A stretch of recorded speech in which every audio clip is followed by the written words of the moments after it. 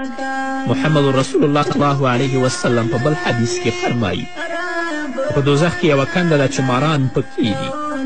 او هر مار د اوښ د څټ په شان غټ دی دا به هغه کسان چې چې دنیا کې مونځ پریښی وي په قصد باندې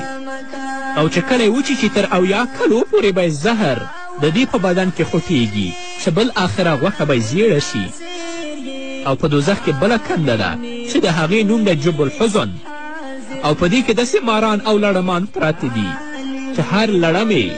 د کچرې په شان دی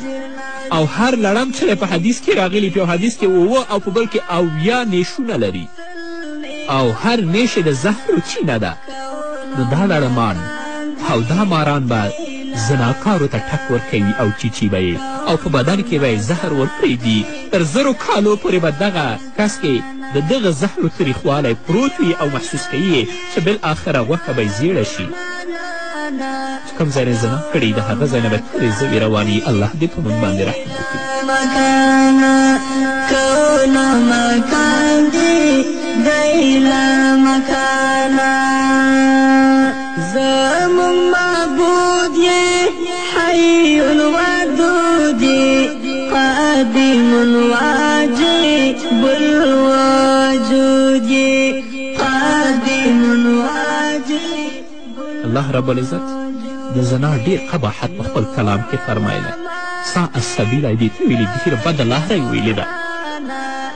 همدارنګه په بل روایت کې راغلي دي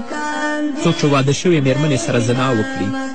په دواړو به په قبر کې د ټول امت نیم عذاب وي اول که دا حدیث ضعیف هم دی او چې کله د قیامت ورځ شي الله رب العزت به یې میړه جنت ته د تللو امر وکړي میړه ته به یې وایي چې ته جنت ته لاړ شه په داسې حال کې چې میړه یې ناخبره وي د دې نه چې زما ښځې زنا کړې ده دې نه ناخبره وي الله به ورته وایي چې جنت ته لاړ شه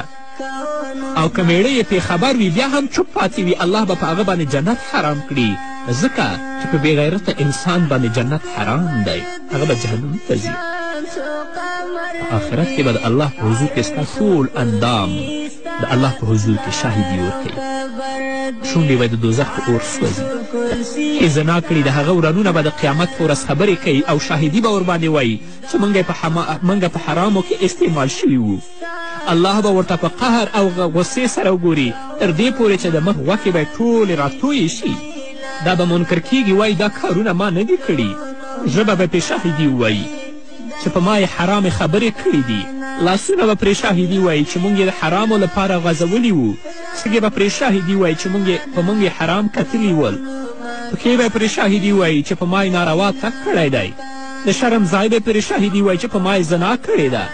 حافظه ملایکې به پرې شاهدي ووایي چې ما اورېدلي دي بله به ووایي چې ما لیکلي دي الله رب العزت به ووایي چې زه پرې خبر وم